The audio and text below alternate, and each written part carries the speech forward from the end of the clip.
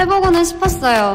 근데 혼자 하기는 좀 그렇고 선수로 뛸 때는 매 순간 부담과 긴장감을 안고 달릴 수밖에 없었어요. 진짜 신기해요. 힘든 줄도 모르겠어요.